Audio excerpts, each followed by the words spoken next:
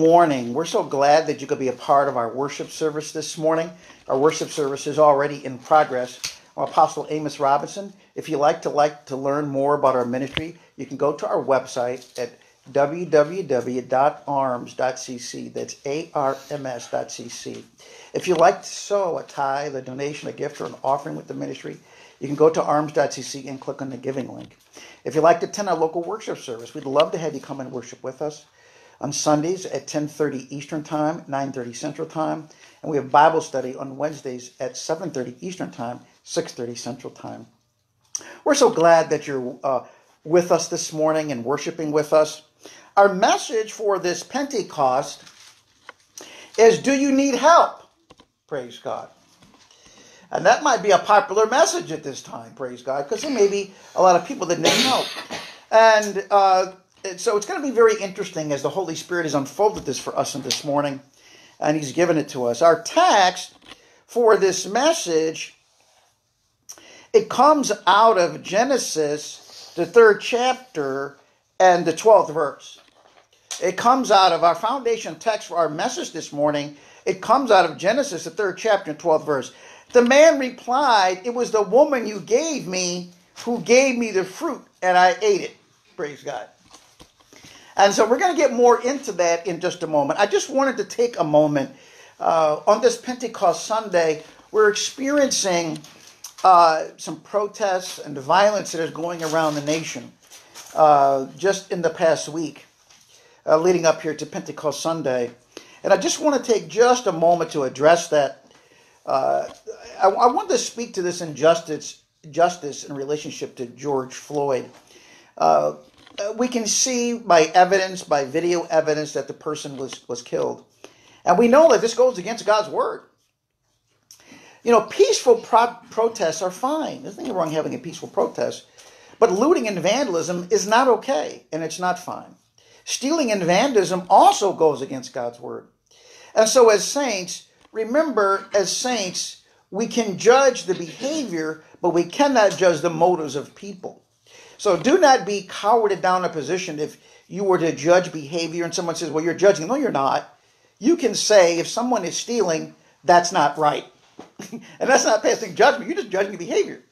Uh, if, if, if someone is uh, uh, doing an act which is not godly, you can speak, and it's recorded in the Bible, you can speak to that behavior. Now, you can't judge an individual. And also, it does not uh, give us uh, the license to be able become critical toward people or to become condemning toward people or to become cynical about people. It doesn't give us a license to do that. But we certainly can judge behavior. And uh, we have the right to do that as saints. And so we urge you to pray for our nation during this critical time. We have a sample prayer posted on our website at www.arms.cc. That's arms.cc. And see, we would invite you to cooperate with us in this prayer, praying for our nation, for healing and restoration, and for, and for justice, and, even in this case here of George Floyd. So, on this Pentecost Sunday, it's important. You know, Pentecost is an important because it's important to God. Pentecost isn't didn't just start with the Christian church. It started hundreds of years ago back in Exodus. It was called the Festival of Harvest originally. It was called the Festival of Weeks. It was called the Festival of Pentecost.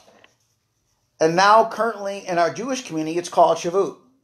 And so it's celebrated this past Sabbath, uh, Friday sundown to Saturday sundown, in the Jewish synagogues, it's celebrated as Shavuot.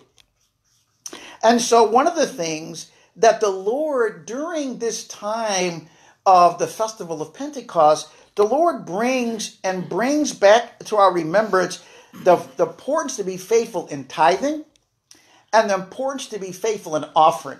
He brings this up in our hearts during this time. Now, why would he do that? Because it's important to him, praise God. We should be faithful in tithing and offering. Now, there are only two times when it's valid to tithe. Okay? There's only two times when it's valid to tithe. And a tithe means giving to the Lord 10% of our income, and an offering is over and above that. Uh, the only two valid times a tithe is when you have the money to tithe, number one, and number two, when you don't have the money to tithe. Those are the only two valid times it's valid to tithe. Okay? When you don't have the money and when you do have the money. In other words, there is never a time when you should. Uh, my spiritual father was always inspirational to me in that. He was sitting in a service and he didn't have any money. This is a time when he was starting out and he didn't have so much as a penny in his pocket. And he went to church. And the minister ministered and he felt he should give $10. But he didn't have $10. So he said, Lord, you told me that I got to give $10, but I don't have any money. So what he did is he took a button off, he tore a button off his shirt. And when they, he said, Lord, I'm giving this. This is my $10. I'm giving this right now. I believe you're going to get that $10 to me before this service is out. I'll put my button in right now. See, the only valid time to tithe is when you have it and don't have it, see? So he didn't have it. So he gave a button. He said he got up out of the pew, was heading toward the back door, and a deacon in the church came running after him. He said, Brother, he said, Yeah. I, the Holy Ghost just came on me and I felt compelled to give you $10. He said, Praise God, I received that by faith. He went back to where the ushers were counting the money knocked on the door. Hey, I got a button in one of them buckets. It's got to be changed for this $10 bill. See, there's only two times when it's when it's appropriate to tithe. When you have the money and when you don't. Praise God. That was the only two times. So, but God brings us to our remembrance during these this festival of harvest, this festival of weeks, this festival of Pentecost, Shavuot, during the Christian uh, Pentecost. So, another thing the Lord brings to our mind this morning at Pentecost is we should be people that walk in forgiveness. Tithings and offerings. He reminds us in this morning how important it is and to bring a special offering on this day. And number two, we should be people that walk in forgiveness. On Pentecost, he talks about the importance of forgiveness, of forgiving your brother and sister, those that have wronged you, have done something wrong. Remember, I talked about my spiritual father back in the day when there was a big thing going on about, you know, how, how African Americans have been wronged in the community. He got out in front of the believers, you know, hundreds and hundreds of people, and said, Father, we done, the white race has sinned against black people in our country. I repent. If I've done anything wrong, get it out of my heart. I love my black brother my black sister. Find you a black brother and sister and hug them and apologize to them and treat them good, praise God. They're our brothers and sisters. Well, he's trying to operate in forgiveness, praise God. Ask him, and then he did that. Matter of fact, I remember he did it. He said, Forgive me. If I did anything wrong against my black brothers and sisters, forgive me. I, I ask for forgiveness right now, praise God, from everybody. Well, that's the way you do it, see? That's what in Pentecost he brings forgiveness to heart. Another thing he remembers that he brings out for Pentecost that we should be we should be kind to the poor, concerned about the poor. This ministry has donated 2,000 meals to those who are poor in the community. Amen. And if you tithe and offer to this ministry, it's just like you've given 2,000 meals. Because what the ministry does, you do. Praise God. Because you enable it to do it. Do your giving. So, it, so if you tithe and offer to this ministry, it's as if you gave 2,000 meals yourself. Praise God. We should be, another thing that the Lord brings out, we should be considerate of those who work for us in the workplace. If we're managers or leaders in the workplace, we have to be considerate of our workers. When we think about this, especially during COVID, and I've even seen where some leaders are saying they're going to pay their employee salaries out of their own money. Some of the owners of businesses have said that. Praise God. He said, I'm going to keep my employees paid. You got to pay it out of my own savings. Now, that's what you call operating in the spirit of Pentecost. Praise God. That's operating in a good spirit. Now, you can't, obviously, you can't go broke. You know, you're going to have to uh, make evaluations, you know. But as long as we can, you know, do what we can do. Praise God. We're going to do the best we can do. Well, they're concerned. I remember during uh, one of the crises we had, period, one of the business leaders said, I won't take a dollar out of this business if it'll keep everybody working. Praise God. I'll cut my salary to a dollar. I remember him saying that. And that's that's leadership, praise God. He's trying to show leadership there. I'd rather keep it, give my salary and spread it across to the people and see if that'll help. You know, if it'll make things work, we can minimize layoffs. And also, the Lord brings up another point here for Pentecost. Keep the importance of the Lord's Supper in front of us. We have to value the Lord's Supper.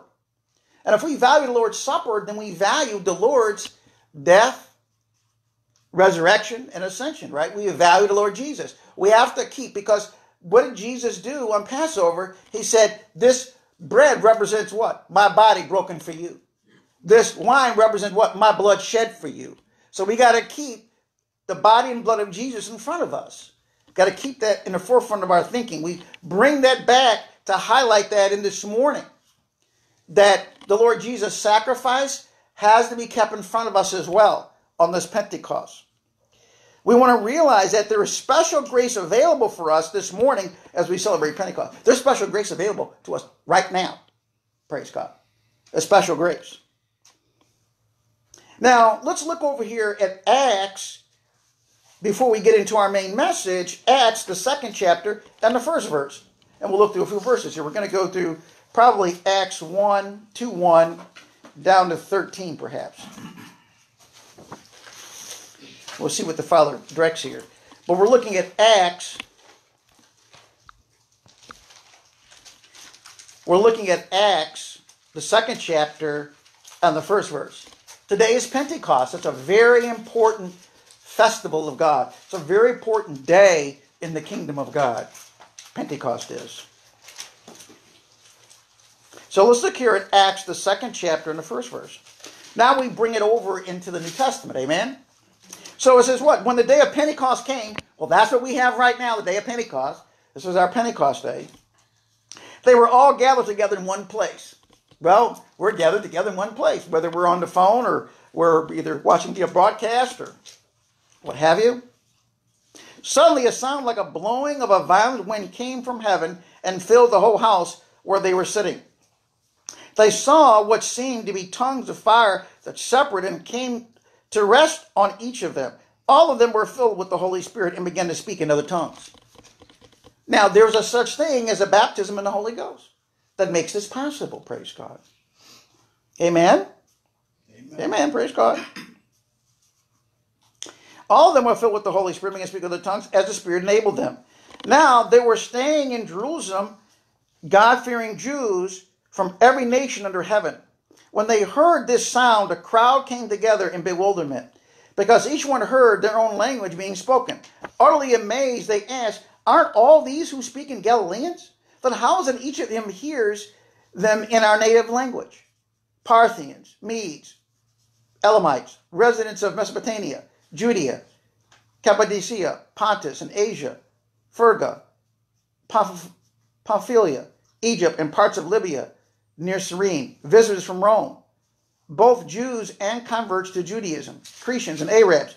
We hear them declaring the wonders of God in our own tongues. Amazed and perplexed, they ask one another, What does this mean? And so we realize that what this means is that this was really the birth of the church.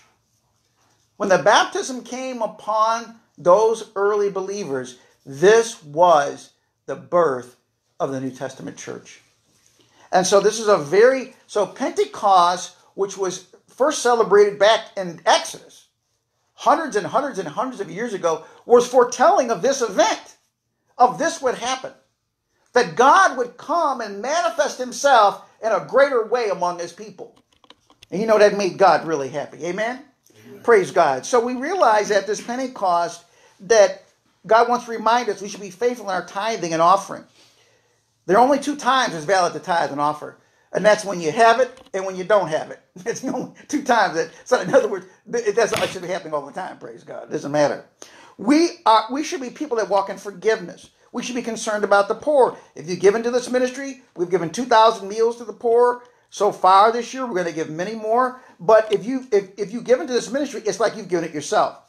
We should be considerate of those who work for us in our workplace, those that we work with, colleagues, that's important. And we got to keep the importance of the Lord's sacrifice for us, the Lord's Supper, in front of us as well. There's a special grace in now. Now let's get back to the word that God has us for Pentecost. I want to give a, a little bit of background on Pentecost there. Let's go back to Genesis, the third chapter, and we're going to look at the first verse.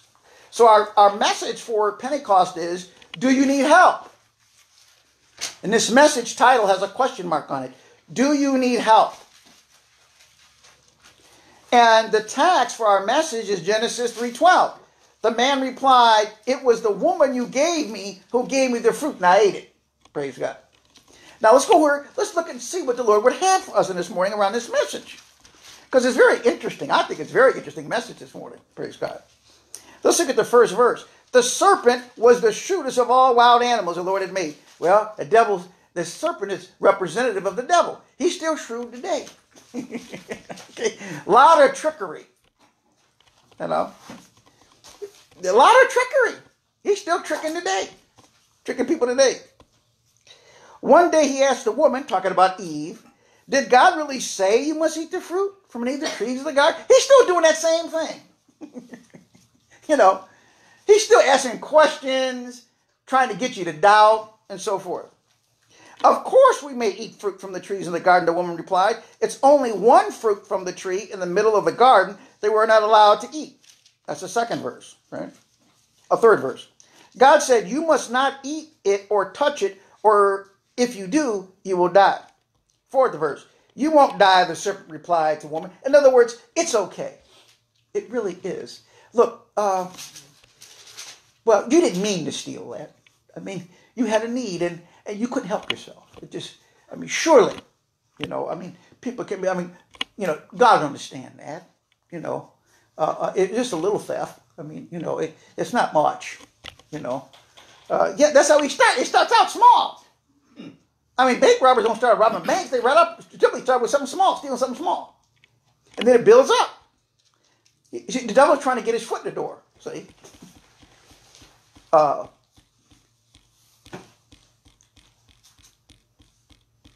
well, you need to go out to that sports bar because your wife didn't treat you right. You know, you, you deserve to be treated right. Girl winks at him when he's there. Now he don't had a couple of drinks, two fifths of the win. Uh, that's a pretty girl. You know, she winked at you. Your wife ain't even treating you right no way. This is what it is. The devil will start coming with these things, and before you know it, you're going to end up in a trap. Amen. Praise God. See, that's how he come. You won't die. You know. Remember, variety is spice of life. you know, he'll start coming with phrases and things that, you know, try to justify the actions. The servant replied to the woman, God knows that your, this is what the saint said, he knows your eyes will be open.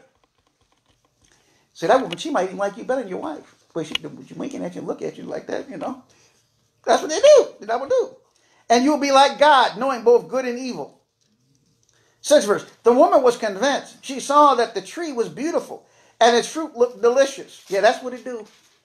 It looked good. Yeah, she do look good, boy, she like younger than my wife. And makeup she got on look good too. Yeah, that's what happens. And she wanted the wisdom it would give her. okay. So she took some of the fruit and ate it. Then she gave to her husband. See? Now, she got, she was deceived, right? And that's why husband and wife got to be together. Because sometimes the devil can come in through the wife or the husband, right? And this came, came through the wife. And he just so happy with his wife, he just went along with the program. He's got, now, he shouldn't have done that. That was inappropriate for him to do that. Okay? Who was with her? Okay, baby. You know, you can hear him now. Okay, sweetheart. no, no, uh-uh. This ain't okay. And he ate it too. At that moment, their eyes were open and they suddenly felt shame at their nakedness. So they sewed fig leaves together to cover themselves. When the cool evening breezes were blowing, the man and his wife heard the Lord God walking about in the garden. So they hid from the Lord God among the trees. Then God, then the Lord God said to the man, Where are you? Now God knew where he was. he knew exactly where he was. He wanted to see what he was going to say. Uh, who told you you were naked? Where'd you get that from? I didn't teach you that. The Lord God asked, Have you eaten from the tree whose fruit I commanded you not to eat? In other words, have you sinned? The man replied, It was the woman you gave me who gave me the fruit, and I ate it. The Lord God asked the woman, What have you done? What did she say? The serpent deceived me. She replied, That's why I ate. Now, Eve was deceived here. But does it say that Adam was? No. She had an excuse. Now, she allowed, see, the devil will deceive you into doing something he's supposed to do. Okay? First of all, you should have been at the sports bar. If you got mad with your wife, shouldn't be there. You should stay right at home and, and worked it out. Now you can maybe go get you. A, I like coffees at McDonald's, the cafe. They make some good. They make good lattes at McDonald's. So I would. I'm not trying to promote McDonald's, but I would have went there and got me a latte. You know, at McDonald's, right? Something like that. Well, he went to a sports bar. This is a true story. The guy went to McDonald's, got, sat with his wife. Girl winked at him. Now he's had two or three drinks. He's not, you know, he's not feeling it for his wife. And what do you know? So she probably had a couple of drinks. She come over and sit by him. You're cute. you know? And what happens to him? He falls into sin. He commits adultery on his wife. He ends up, ultimately, it ends up in divorce. Right? So she was deceived, but Adam was not. So Adam's sin was actually worse than Eve's because she let herself, she was deceived, but Adam knew exactly what he was doing. It doesn't it say right there? It says the serpent deceived me, and that's why I ate. But he was just going along with his wife. No, uh, uh-uh. uh no, no, no, no, no. You can't do that. Praise God. You could have family members that want you to go along with something that's wrong. Now you can be kind and gentle to them, and gracious to them, but you can't go along with wrong, unrighteousness. So, what was happening here is notice what happened. Eve, Adam blamed the woman. In other words, he got into the blaming situation. Right? Blame. You see this going on in society all the time. It's somebody else's fault. And then what happened to the woman? So he went to Adam, it's a woman. He went to the woman, it's the serpent. There's no accountability here. So pride, when we have pride, it we we we we hide our actions. We don't deal with them truthfully and honestly when we have pride. If we are humble, humility takes responsibility for wrong. What should have Adam said? You gave me the charge, I sinned, I take full responsibility for it. Because he was trying to blame his wife, like he was throwing his wife under the bus. You would say in today's parlance, he would throw her under the bus. So really, if he loved his wife, should he have done that? No, he should have said, I take responsibility, I'm the head here. And I let this go on. When I saw Eve talking to that serpent, I should have said, honey, I love you. I'm, sec- I'm the head here. Stop it. Now get over here away from that serpent. But listen to him because he tried to get us to do something we're supposed to do. God left me, I'm in charge here. And she shouldn't have gotten anything like, well, you don't tell me what to do. She said, yes, husband, that God didn't tell us that. I got to shut up and do, you're right. I'm wrong. That's how you get help. Humility takes responsibility. Blaming others, now I just want you to write this down because this is one of the central points of this message today. This Pentecost message. Do you need help? Is our message. And this is the central point. Blaming, if you blame others, you won't get the help. If you blame others, you won't get the help. Do you need help? You're not going to get it if you blame others.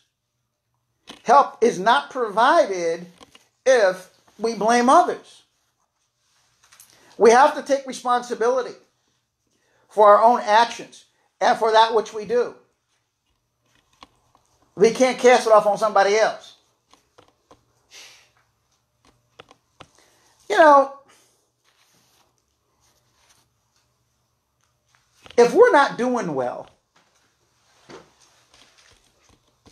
and a lot we're talking about because there's rioting going on now in our community, racism. Do you identify more with your nationality than you do with Christ? If it is, that's a problem. Because I thought it read in the Bible that we always went in Christ. I don't care who it is or where you at on planet Earth. If you will release your faith on the word and walk with God, you coming up. Prosperity's coming. I don't care whether you red, black, blue, brown, green, purple, pink. I don't care what you are. You coming up. Is God respect of persons? No. Uh-uh. Who's a, he's a whosoever God. Whosoever will. And he looking for whosoever will do it. Praise God. They coming up. Don't identify more with your ethnic background than with God. Identify more with God. Because we've been transferred into a new creature. We've been told all things have passed away. All things have become new. Isn't that what the word tells us? Mm-hmm. Aren't we the seed of Abraham? If you want to know your nationality, it doesn't matter what ethnic race you come from. In Christ, we're all Jews. Praise God. Amen. Amen. We've been engrafted in through Christ. Praise God. So don't get so tied up in your ethnic background. Get tied up in your identity with Christ. He will bring it, it'll bring you victory. Remember, pride hides, humility takes responsibility. And blame others, and you won't get help. You'll position yourself so you can't get help. Because you're blaming somebody else.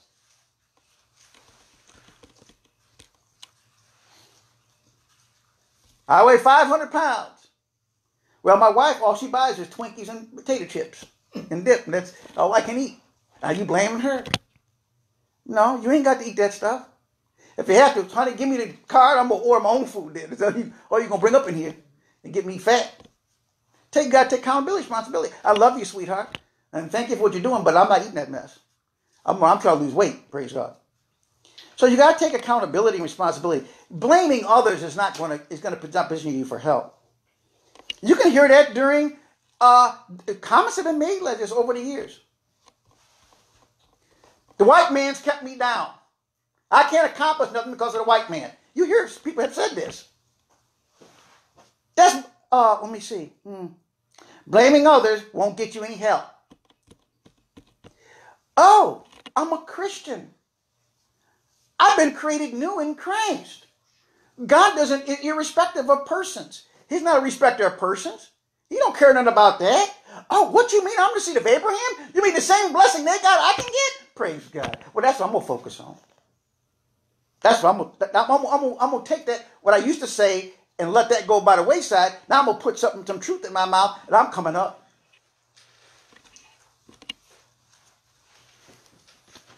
I remember there's a there's a movie I can't remember the name of it now about how these African Americans during uh, uh, a racist time in America they became wealthy businessmen. These two these two uh, uh I know one of them was I think maybe both were. several people in black African American men that were involved in it.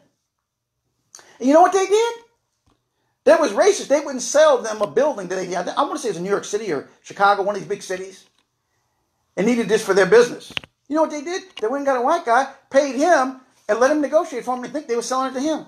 And guess whose name was on the title? There was. They didn't get caught up in, you know. No, they just saw the way to the success. All right, well, we're going to pay a white guy. We'll let him front for us. When the paperwork come out, our name going to be on it. God got a way. Let's be a success. Let's prosperity. Amen. Praise God. Yeah, we know that wasn't right, but that still ain't stopped their prosperity. They found their way through. Well, guess what? If you're a child of God, prosperity is coming to you. Get that foolish thought about uh, uh, uh, you can't accomplish nothing and, you can't do it and blaming somebody else. No, you can do it. Now, the problem is, if it's not working for you, you need to get in the mirror. What am I doing wrong? Get down on you and start crying out to God. And it might cause some tears to come. There's some things maybe in your life that are not right need to be adjusted. But if we're walking out the Word of God, prosperity will come. This will work anywhere on the planet. Anywhere on the planet. I remember, I want to say it was in, uh, I think it's in Nigeria, if I'm not mistaken.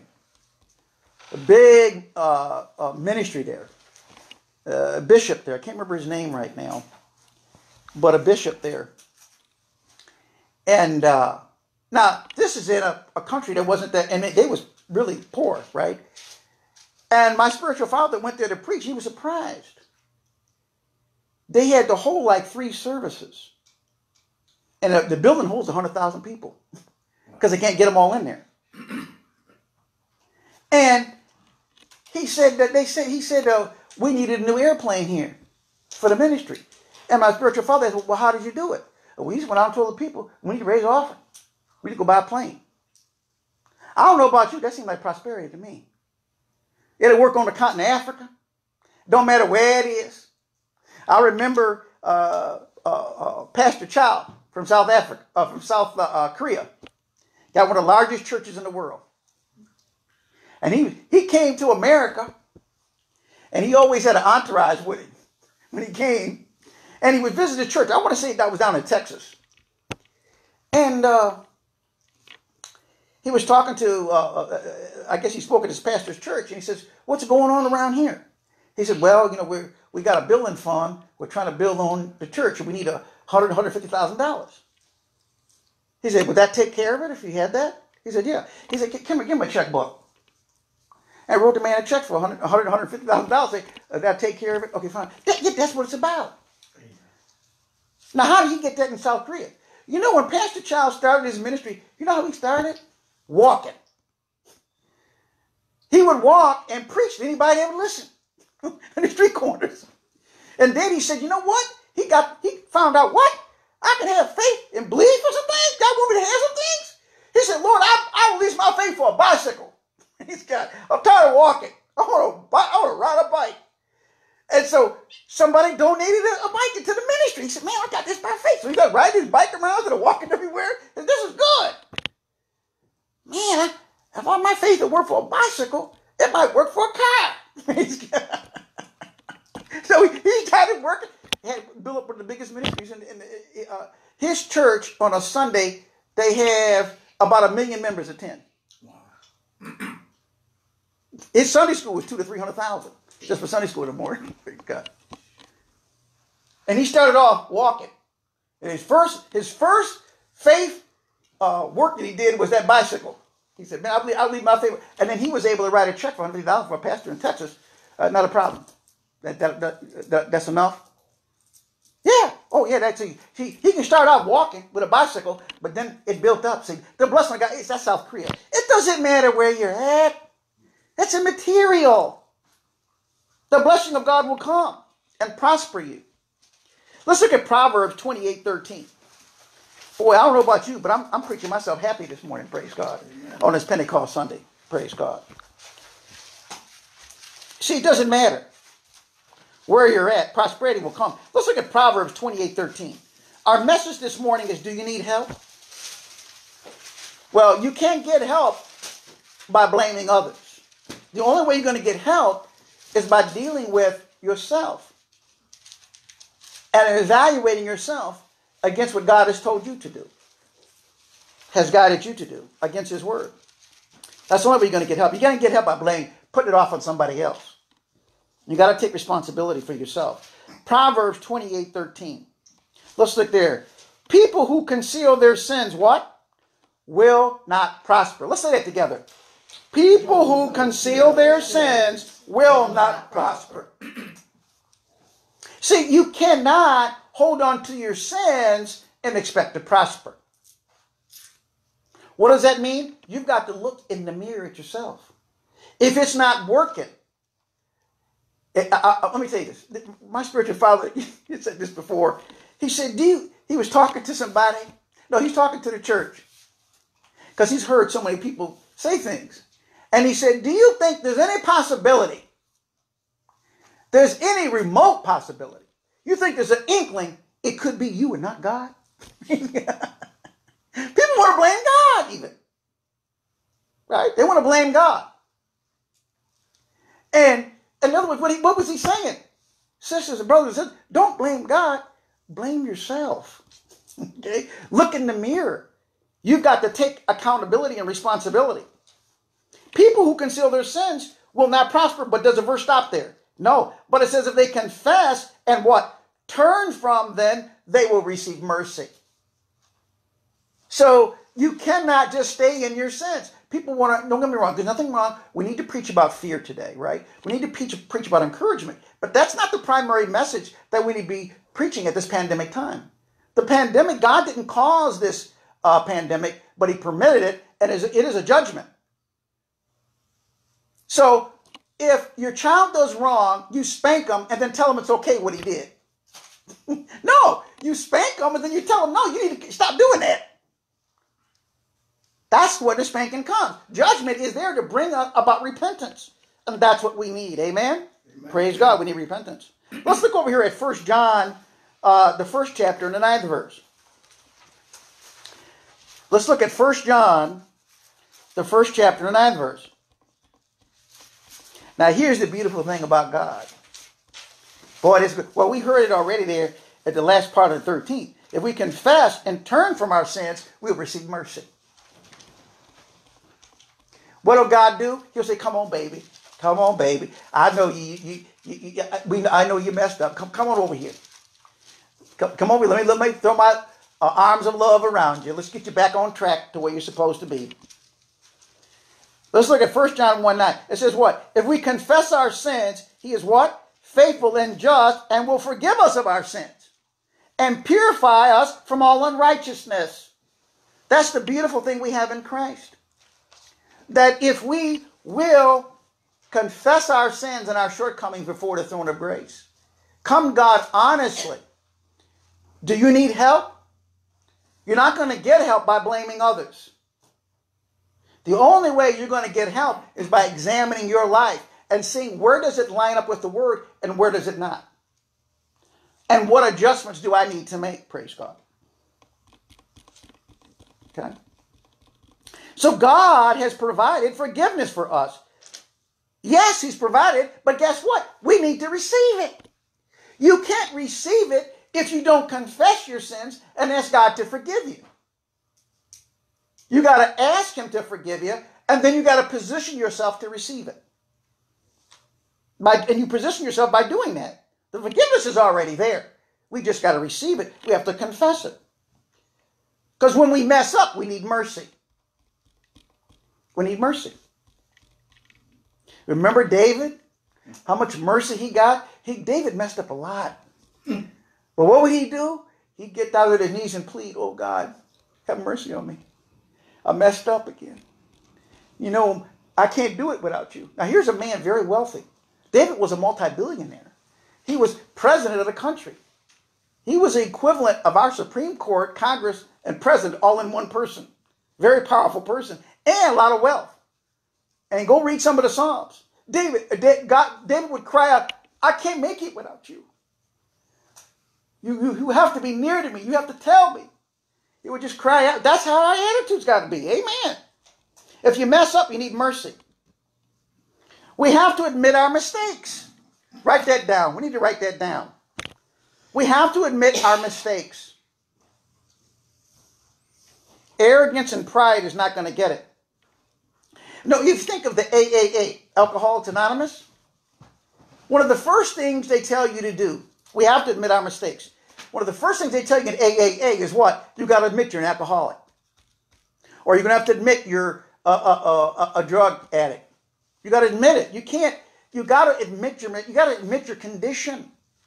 That's the only way you're going to get help. So recovery from al- al- uh, being alcoholic starts with admitting your situation. It's the same thing with us as God's children. If we want help, we got to admit our situation. So what should Adam have said? Instead of blaming his wife, he should have said, I messed up. Don't blame her. It's my fault. I take full responsibility. Because you told me she was deceived and I let it happen. I should have gotten said, honey bunch, I love you, baby. Give her a kiss on the cheek. Let's go. You don't boss me. Well, I'm bossing you right now, baby. Because this is going to get us in trouble. So I'm sorry. I don't have to be the boss man right now. you know, of you. Because this is not going to lead to good. Now you you you'll thank me later once I save you from this mess. Amen. Praise God. Amen. Okay. So it's very popular today to blame others. It's always somebody else's fault. Now, can it be somebody else's fault? Yeah, it can be. But how do we approach that? Right? We approach it about what, what good can we do? And the good is going to come out of prayer. It's going to come out of the leading of the Holy Ghost. What good can we do? Right? So remember my spiritual father that came out and said, uh, when this was a, a, big thing in America, he went out and said, My black brother and sister, if I've sinned against you, forgive me. God, forgive me in front of everybody. He's doing this, repenting in front of everybody, right? Now I can't imagine him doing anything because he's a he's a very loving man. But maybe you know he was trying to lead the way to what should be done. Well, could he have said, "Well, my father was prejudiced, my grandfather was prejudiced, so I could blame it on him"? That's why I picked that stuff up. You know, man, You can you can blame it on others. He could have said, "My father was that way," or "My grandfather, my great grandfather was that way." No, you can't do that. I don't care what my great grandfather did. If I'm not doing right, I got to do right, praise God. Just because my great grandfather was a crook, don't mean I got to be a crook. Or because my great grandfather was racist, don't mean I got to be racist. Okay, I repent of that sin right now. Lord, get it out of my heart. I, I remember that. He was in a service and he had black members there in his church, and he went up to him, I love you. I want you to know I, I love you in Christ. And, and, and, he just poured out. I mean, it was a very emotional service. Uh, I don't remember if he cried or not, but he was very close to it if he didn't. Uh, you know, he just really was repentant. And all of us got to get in here. We got to love. Look, white, some of our white brothers and sisters here, you got attitudes toward your black brothers. This need to change. Stop it now. And he's led the way by repenting in front of everybody. So now here's the problem with this blaming others situation. Because when you blame others, you judge. You can write this down because this is an important point. You can write this down. This is a very important point. When you blame others, you judge. Here's the danger in blaming others. So, do you need help? You're not going to get help by blaming others. Blaming others will block you from receiving from God. Because why? Now you're, you're judging others. And what does judging other lead, lead to? It leads to judgment yourself on yourself. So when you get into blaming others, that leads to you being a judge, judging others. And judgment of others leads to judgment on yourself. Amen? Praise God. So that's the danger in it. So if you, you need help in this morning, my Pentecost message this morning is do you need help? Don't blame others because it'll block you from receiving from God. As a matter of fact, you'll bring judgment on yourself. Wasn't that what happened to Adam and Eve? Mm-hmm. Hmm? Praise God. Isn't that what happened to them? Didn't they get judged? Yeah, they got judged. Uh, we, we're, we're, we're the recipients of that today, of the judgment that came on them. Okay, let's look at Matthew. As we're talking about, oh, so, so let's, let's, as you make your notes here, blaming others leads to you becoming a judge. And becoming a judge leads to judgment on yourself. By the measure you judge, you'll be judged. Let's read this. Let's look at Matthew 7 1 and 2 here. We're going to look at what Jesus said about judging others. And this morning. We're going to read what Jesus said about judging others. Matthew 7 1 through 12. So, our message is Pentecost Sunday. Do you need help? And you can't get help by blaming others. And lead, which leading into judgment of others, which leads into your own judgment. It's a trap. Jesus said here, Matthew 7 1, what? Do not judge. Now, Christians use this today, or people will use this as a defense for sin. Now, as Christians, as saints, we have the right to judge behavior. If someone is stealing something, now we can't judge that person, but we can say stealing is wrong. You shouldn't steal. We can judge the behavior. But now you have saints even say, oh, you're judging them. No, you're not. No, no. You're not judging the individual, you're just judging the behavior. Okay? That's not, that's within your purview. But you can't judge the person. And you can't judge their motivations. You can't do that. But if someone is stealing, you can say, you know, stealing is wrong. Oh, you're just ju- you're judging them. You've gone too far. Oh no, I haven't, sweetheart. I'm within my purview in the kingdom of God. I'm not judging them or passing judgment on the what's going to be the outcome. Because can that person that stole can't they uh, get forgiveness? Yeah. Could they maybe if you pray for them, could they get an early release from prison? Amen.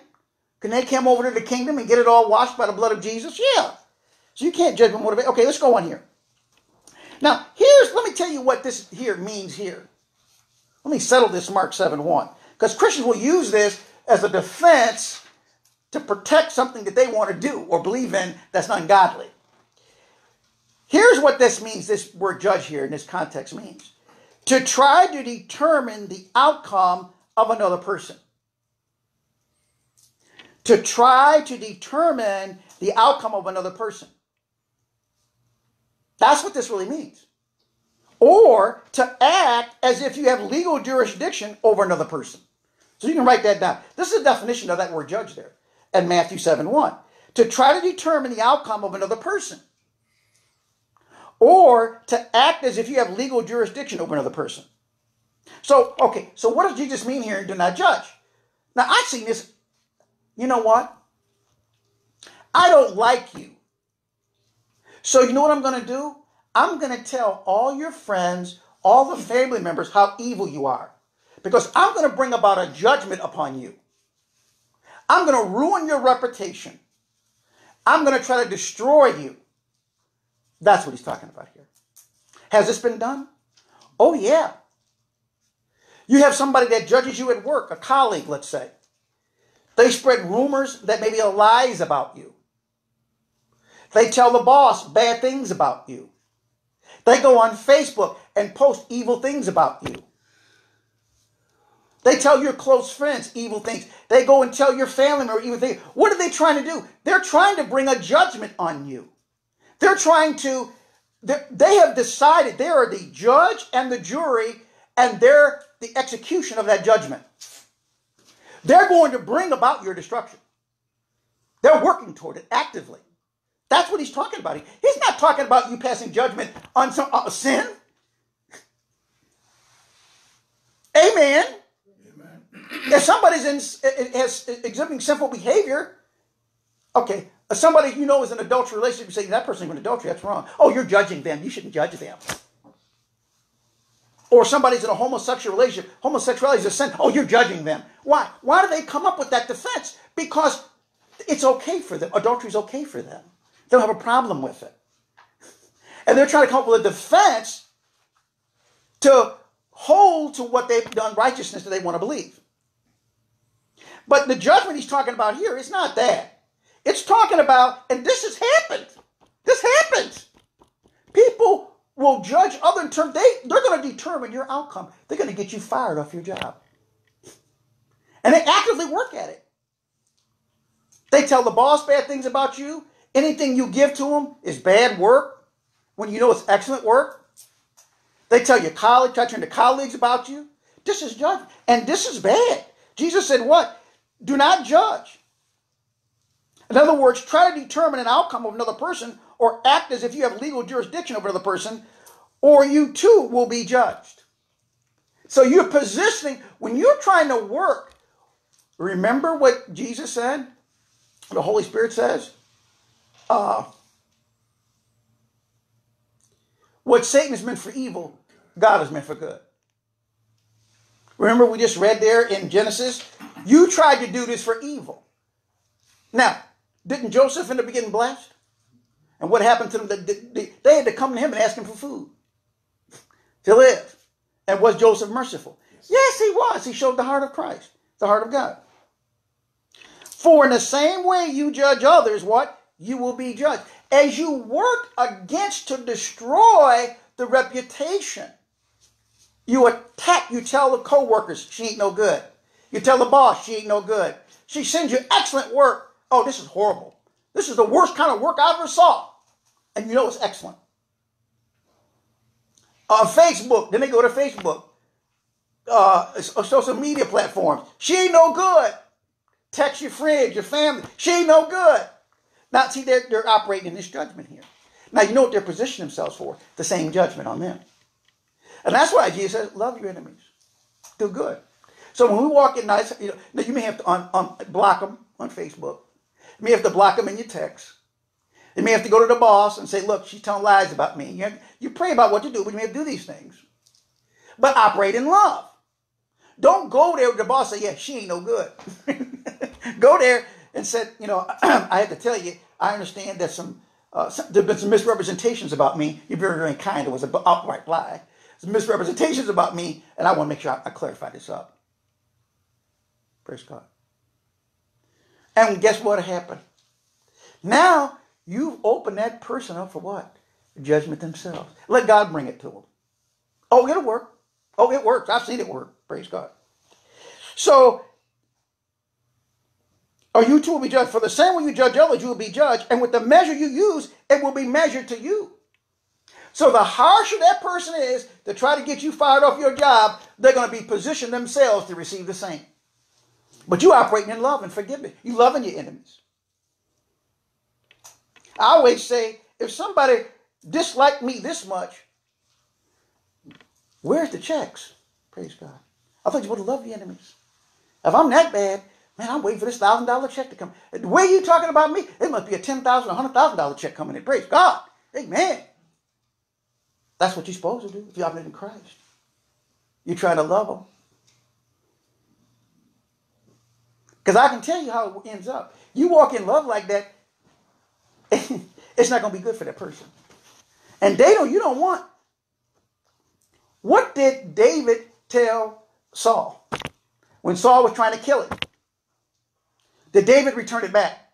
Try to come back? No, he didn't. And this was God's anointed. How David looked at it. This is the man of God. How did David respond to that? David tried to bless him. He, he tried to preserve his life. And ultimately, David said something to Saul that should have woke him up. He said, God will judge between me and you. Now, you don't want that. No, no, no. I'm not going to touch you. You didn't know any of God. Going to say positive things about you, try to bless you. Now, what did, it, what did that judgment entail for Saul? His death. What happens? God let God see. You don't want God to judge it, okay? Because if you if God gets involved with the judgment, ooh, it could be brutal. His judgment could be brutal. Anybody forget about Noah and the ark? you know, I mean, his judgment could be wipeouts. Okay. And remember what God told Moses. Remember how the nation of Israel was acting up, and God it was he was upset with the Israelites. I mean, he was livid with them. And Moses was up there in that mountain talking to God. You know what God, God told Moses? Tell you what. Let's get rid of them. I'll get rid of every one of them Israelites. And I'm going to start all over with you. We start with you again. You got some wives. We have some more children. We just start off with. I got all the time in the world. I live in infinity. You know, I, I, time, I, time is not a concern for me. We'll let another. We'll just tack on another thousand years if we need to to this thing. That's what needed to be happening. And what did Moses do? He said, Lord, you can't do that. He said, What? He said, You brought these people out here.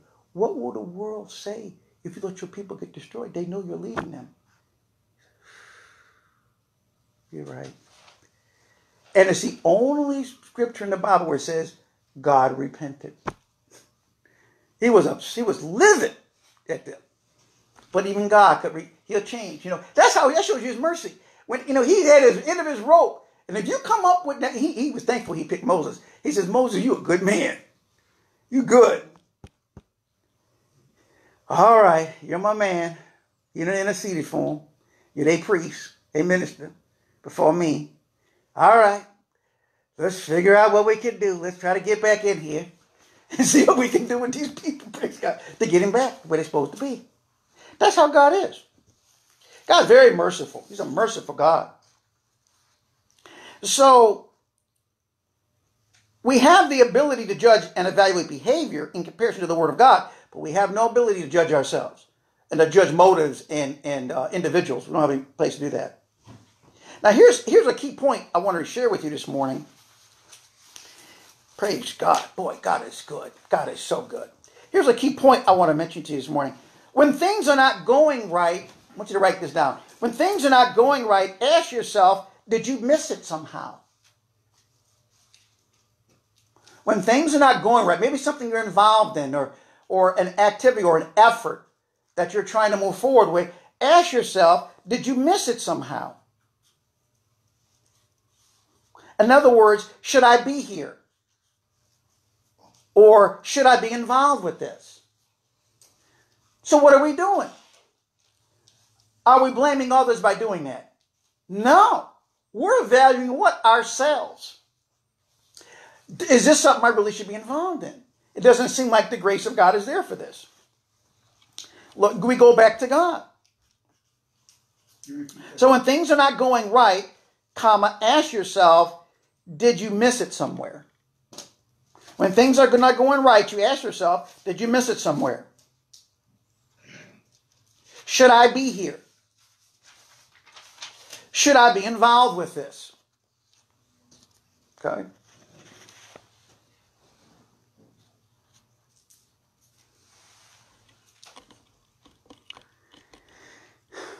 And you'll think about it. If we stay and do the righteous thing, it can save a lot of problems. It really can by doing the righteous thing. Let's look over here at Genesis, the third chapter, as we work on wrapping up this morning. Let's look at Genesis, the third chapter, and the 14th verse. Genesis 3 and 14. we kind of commented on this, uh, we kind of mentioned on this earlier, but we just, we'll look at it here. Now, out of this, uh, when we start blaming others and we get into judgment, it leads to judgment ourselves. Now look at the, look at Genesis 3 and 14. Then God said to the serpent, because you have done this, you are cursed. So what does it lead to the serpent? He becomes what? What, what is the judgment? Curse. Okay. Now going down here to, to the uh, the 16th verse. Then he said to the woman, I will sharpen your pain of your pregnancy when you give birth. What was this? What was this? A, what? A judgment that came out of it. And what did he say to the man? Since you listened to your wife, implied is that you didn't listen to me. You putting what your wife say above me. And that ain't good. What, what would that be called in the Ten Commandments? idol worshippers. That's a violation of the commandment of God. And ate from this tree, whose fruit I command you not to eat, the ground is what? Cursed. All your life you'll struggle to scratch a living. In other words, there was a judgment. So when we blame, well, if we need help, we don't want to blame others. If we blame others, it's going to lead to us judging others, and it's going to lead to judgment in lives on our life ourselves. It's going to lead to a judgment. Now let's look over here at Genesis 4 as we work on closing here this morning. And this will be the last uh, scriptural reference that we make here this morning before we close. Genesis, the fourth chapter, the first to the tenth verse. Genesis, the fourth chapter, and the first to the tenth verse. Our Pentecost message this morning is Do you need help? And we can't get help by blaming others. You need help? Go look in the mirror. Because it ain't God. I can guarantee you that the problem is not with God. I always remember that my spiritual father said, Do you think there's any possibility, any chance, any inkling it could be you and not God? That's where it is. That's where the problem is. It's with it, it's you. Okay, let's look here as we want to close this morning. Genesis 4, 1 and 2. We close our Pentecost service. Adam made love to his wife Eve. We know what that means, I think. Husband and wives do, right? And she became pregnant and gave birth to Cain. She said, With the help of the Lord, I brought forth a man. Later, she gave birth to his brother Abel. Times were good. Honey bunch, bundle, couple bundles of joy on the scene. You know, it was a good time. Little baby. Now, Abel kept flocks. Now, you know, in two passages here, they done grew up. Got to give adults. Uh, now Abel kept flocks and Cain worked the soil. In the course of time, Cain brought some of the fruit of the soil as an offering to the Lord. Now look at this. In the course of time, that already tells us something. Was it immediate that he was bringing these fruits? No. Well, I have something left over. Well, if I have anything left over, I'll give it to God as an offering. Ah, that gives us a clue this is not good. okay. God loves offerings, but he wants the offerings to be what? First. First. When God gave his son, he gave his first and only son. He gave his best. That's how he works. In the court, okay, Uh, and Abel brought an offering fat, look at this, fat portions. What does that tell you? Luscious offering. you know, it ain't no skip course of time, it's the prime offerings, right? That's of the firstborn of his flock. The Lord looked with favor on Abel and his offering. But Cain and his offering did not look with favor. Well, why didn't it? Why didn't it? Because Cain was giving it begrudgingly. He said, Well, you know, if I have something left over, well, make sure I got everything paid and everything done. If there's anything left over, I'll give it to God. Well, that doesn't, that doesn't get the favor of God, right? So Cain what? Became what? Angry, and his face was downcast. He's upset. Why is Abel brother? Why is Abel offering better than mine? Were you prejudiced? Were you discriminating? Huh? Then the Lord said to Cain, Why are you angry? Why is your face downcast? If you do what is right, won't you be accepted? So, what is God telling him? The problem is not me, and the problem is not your brother. The problem is with who? You. You got a problem. Go look in the mirror. Well, no mirrors at that time, but go look in the light. You see reflection. It's you. But if you do, look at what he's saying here. But if you do what is right, sin is crouching at your door. You get ready. To, your, your, your, your, your attitude is sinful in terms of your offerings to me. And this is going to lead to problems with you. He said, Look, but if you do what's right, look, if it desires to have you, but you must rule over. You got to rule over the sin. You got to rule over the choices and decisions you're making in your life. Now Cain said to his brother Abel, "Let's go out to the field." While they were in the field, Cain what attacked his, brother Abel and killed him. So what was uh, uh, Cain doing? He was bl- was he blaming himself for his cheap self, his cheap giving, and unrighteous giving, or was he blaming Abel? He was blaming Abel. And matter of fact, he became a judge over it. He determined what happened with his life because he took it. So let me see. Blaming leads to judging, and judging leads to what? Judgment. Now let's see how that worked out for him. Then the Lord said to Cain, Where is your brother Abel? God knew where he was at. he knew what had happened. I don't know, reply. Yeah, right. Am I my brother's keeper? See, people make up all kind of excuses for the things they want to do and don't do. The Lord said, What have you done? Listen, your, blo- your brother's blood cries out to me from the ground. Okay? So, anger and depression are indicators that you're yielding to darkness or the evil one. But that gives us a little clue as what's happening around the country right now. Protesting is legitimate, but not looting and vandalism and killing people. That's not legitimate. Anger and depression are indicators that you're yielding to darkness or the evil one. Now, I'm going to give you this. This is my last thing I'm going to say as I close up this morning. You write this down. If you won't believe the truth, comma, then all you have left is lies. If you won't believe the truth, then all you have left is lies. If you won't believe the truth, comma, then all you have is lies. Isn't that what Cain did? He started to believe the lie. The devil will whisper in your ear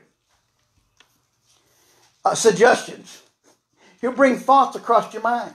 Do you have to believe them and receive them? No, you can resist them. That's what Cain should have did. No, he got angry. And you know, and to kill his brother, you know, he meditated on that. He meditated on that. Abel got me looking bad before God. If he did like I did in the course of time, in other words, hold back, then he wouldn't have me looking bad. you know, you know why, why can't he do what I do? Right? And uh, it wasn't Cain the firstborn. I'm the oldest brother. You should be following my example. No, you follow your little brother's examples. He got it right. Praise God. so, this Pentecost Sunday is a very special day because it's special to God. And you know, during this day, during this Pentecost, we know that this is a time when God wants to bring us back, remind us how the importance of tithing and offering.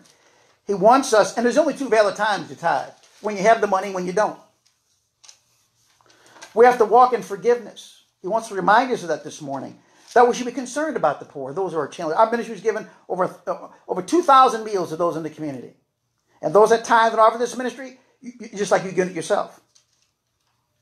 We have to be considerate of those who work for us and work with us in the workplace.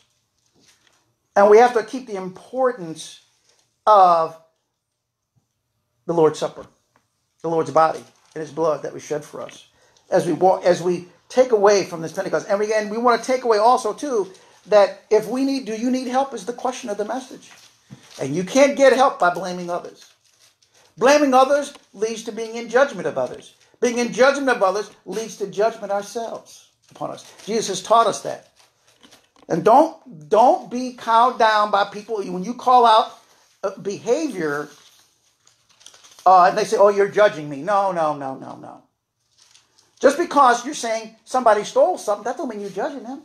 You're saying they stole something. Praise God. But, but, but Christians will use that as a defense to justify what they want. If they think stealing is okay, they can say, You're judging them. You're judging me. No, I'm not, honey. I'm going to pray for you. Matter of fact, I hope you can get out of that stealing and get out of that wrongdoing. And remember, I want to leave this with you too. To judge in 7 1 means that try to determine the outcome of another person or to act if you have legal jurisdiction over that person. In other words, a person that is in judgment of another will go to work to try to destroy them. They will talk to their family members, they'll talk to their co-workers, they'll talk to the boss, they'll get on social media to try to bring about a judgment upon you, get you fired from the job or whatever. That's judging he's talking about. He's not talking about you calling out behavior. Christians have interpreted that today to mean like, oh, you can't even speak about sin. Now somebody said, well, you can't speak on that because that's judgment. No, it's not. It's okay to say it's not okay to murder. If somebody murdered somebody, you can say they murdered them. You're not judging them. You're just calling out what it is. Okay, it's not your place to stand in judgment of them. That's God's place. But you can certainly judge the behavior. And that, but it does not give us a license to be critical, cynical about people. We're supposed to be hopeful about people. Amen?